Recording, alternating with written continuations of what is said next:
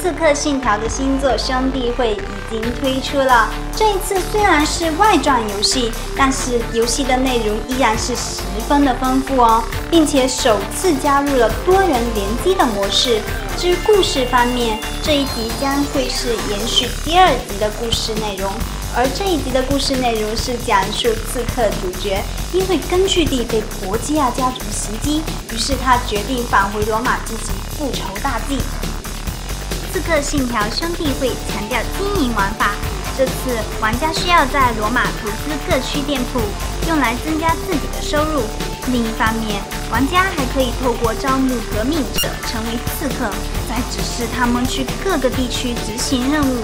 当然，首次加入的多人联机模式可能更加令人感兴趣，玩法不但很多，而且还令游戏变得耐玩。